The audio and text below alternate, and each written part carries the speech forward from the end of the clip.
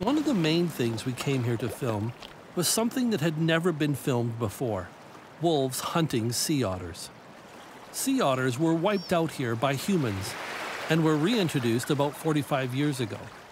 Today they're doing well, and the wolves are now looking at them as potential prey.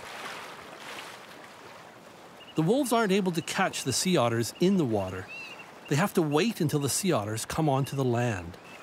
But with the nice weather, the otters are spending all their time in the sea. Then a spring storm gives the wolves an opportunity. During a storm, sea otters will wrap themselves in the kelp so they don't get blown about. But one otter decides to ride out the storm on land.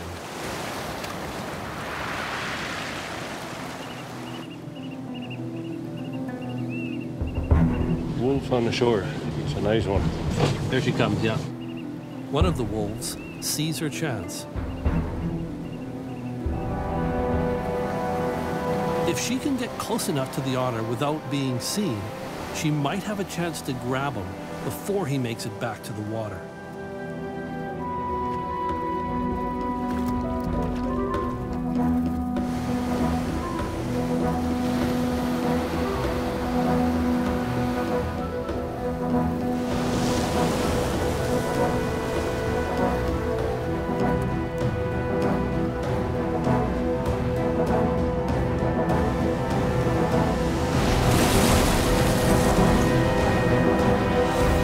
This is the first time that wolves have been filmed feeding on a sea otter that they've killed.